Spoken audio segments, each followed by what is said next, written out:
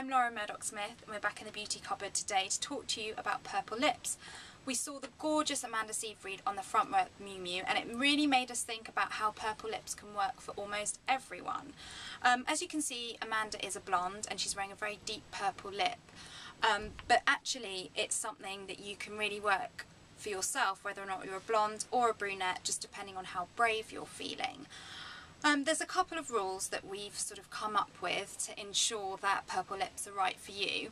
So we think that if you're a blonde, you should go for maybe a lighter shade, and if you're brunette, you can really vamp it up. But again, it just depends on how daring you're feeling. And another rule that we think is absolutely essential is to really amp up your wardrobe, a la Amanda. As you can see, she's wearing this gorgeous uh, red trouser suit, and it's almost like a colour clash with her purple lips but it really works especially with that blonde hair. So there's a couple of products on the market seeing as it's going to be big for now and for spring summer 13 it's already been hitting the catwalks for next season. Um, so if you are blonde and you and or if you're not very brave about wearing purple lips there's this Clinique Chubby Stick and it's going to be the sheerest option for you so if you're not so into wearing a deep moody lip this is your friend. And then if you want to go for that deeper, darker, more precise pout, you can really work it with a pencil or a matte lip.